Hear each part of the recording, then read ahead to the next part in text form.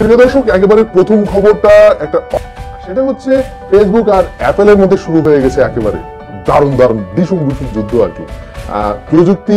যারা রয়েছে, তাদের মধ্যে যুদ্ধ হলে তো আলটিমেটলি আমাদের মতো মানে আম জনতারই ক্ষতি হয়, যেটা হয়েছে হুয়াওয়ে আর গুগলের সঙ্গে যুদ্ধে আর কি। অলরেডি হুয়াওয়ে তো তাদের ব্যবসা বাণিজ্য গুটিয়ে নিয়েছে বাংলাদেশ থেকে এবং আরও অনেক দেশ থেকে তাদের ব্যবসা বন্ধ হয়ে যাচ্ছে এবং কিছুদিন পরে দেখা যাবে যে হুয়াওয়ের নাম ভুলতে বসেছে। চায়নার ভিতরে না চায়নার বাইরে।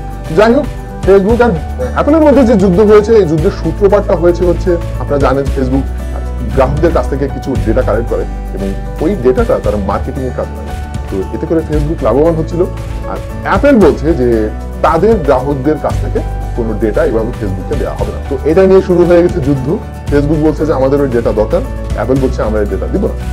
রিসেন্টলি যে আপডেটটা এসেছে অ্যাপেলের আইওএস ফোরটিনে এই আপডেট অনুযায়ী হচ্ছে ফেসবুকের যে টার্মস অ্যান্ড কন্ডিশন রয়েছে, এটার সাথে সরাসরি সাংঘর্ষিক হচ্ছে অ্যাপেলের আইওএস ফোরটিনের নতুন আপডেট তো এটা নিয়ে একটা কোড শুরু হয়ে গিয়েছে অ্যাপেলের সঙ্গে ফেসবুকের আমি জানি না এর ভবিষ্যৎ কি হবে বাট মনে হচ্ছে না খুব একটা সুবিধা হবে, কারণ রিসেন্টলি আমরা দেখতে পেয়েছি অ্যাপেলের যে ফেসবুক পেজ ছিল, যেটা ভেরিফাইড ছিল এবং একটা ব্লু টিক ছিল, আপনারা সবাই জানেন যে ভেরিফাইড পেজে কিন্তু ব্লু টিক থাকে।